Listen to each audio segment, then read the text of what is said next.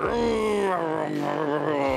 Welcome to the Keep It or segment here on Tech Garage presented by RockAuto.com. You notice anything missing, John? Yeah, the engine's missing, Dave, and I don't know if you got enough horsepower to do the job. Uh, I don't think I'm going to be enough. Good thing we have this uh, new engine from GPT over there. And we do. We have a Go Powertrain engine here, and you guys can see it's coming together really, really well. We'll talk about the accessories later, and we're going fuel injected with the Sniper, Dave. Gotta love it, man. I love it. And we got a new intake there that's going to give us more horsepower and better acceleration, which Boy, is great. Got that right. But before we jump on this, let's turn our attention to the windshield. You know, a lot of people don't get to see windshields installed, so we're going to go ahead and go through the process. We called our buddies over at Tommy's Auto Glass, local here, and they take care of our college for us.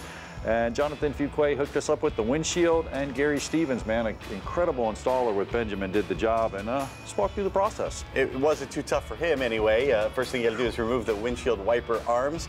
Those things have been on there for about 40 years, so it took a little doing. Got a little uh, a little pick in there to, to pry the little clips, and, and they came off. Yeah, and we removed the cowling, Dave. We didn't have to, but uh, they went ahead and removed the cowling so we could just clean it up. You know, it's an old truck, get it all cleaned up, and it gave us better access to the trim. It was just an easier way to do it. And that trim, there's a lock seal around there, so the, the, the molding around there is was holding the windshield in, and it's brittle, it's old. The seals are the first thing to go, so we knew we were going to throw that out. Didn't have to be too gingerly with it. Yeah, and then the gasket that actually is around the windshield, we went and cut that all the way around.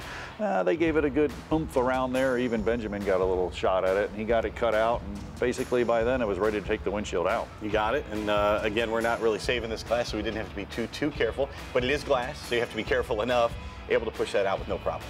Yeah, then we when it cleaned around there, I mean, once again, an old pickup truck, we had some debris, not a lot of rust, I was surprised, but went ahead and cleaned it, took a little cookie die grinder, went around and made sure it was all good before we put the new one in, even though we're not gluing it. And as with anything, with an automobile, take your time, especially with a classic, and that's exactly what we did.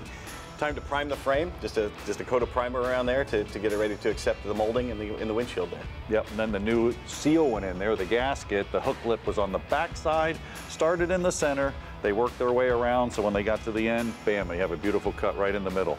New windshield went in, a locking strip to hold it in, and there's your new windshield. Bam, just that easy, you know, and that's nice. It really improved the truck, but you know, I'm more impressed with this engine here. Turn our attention to the engine.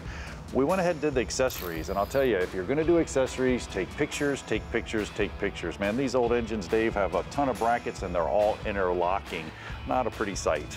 Next item for removal, the power steering pulley. There's a special pulling tool for that. You can get that at rockauto.com. And same thing for the harmonic balancer. Special puller, impact, bam, knocked it off, no worries.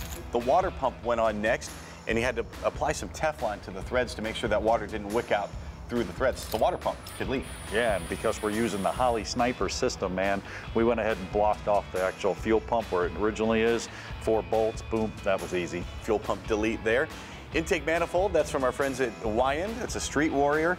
Again, they say more horsepower, better acceleration. Why not? Let's throw Yeah. that on there. Flipped it over, oil pan, glued the gaskets. They're corked, so we'll go back and retorque them. Just a normal build, man.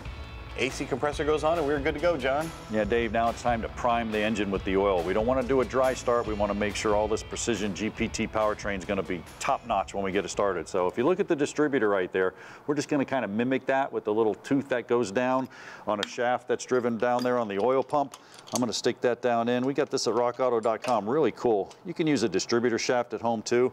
And then I'm going to hit it with a drill, Dave, and you got a gauge. What are we looking for? We're looking for about uh, 25 PSI, and we have achieved 25 plus PSI. Perfect. All right, we'll go ahead and run it for a while and lubricate all the bearings. Great thing to do so you don't have a dry start. We'll put this joker in this truck. Next week, you don't want to miss it. Hopefully this thing will be running by next week. It better be running next week or it's going to be a lousy show. It will.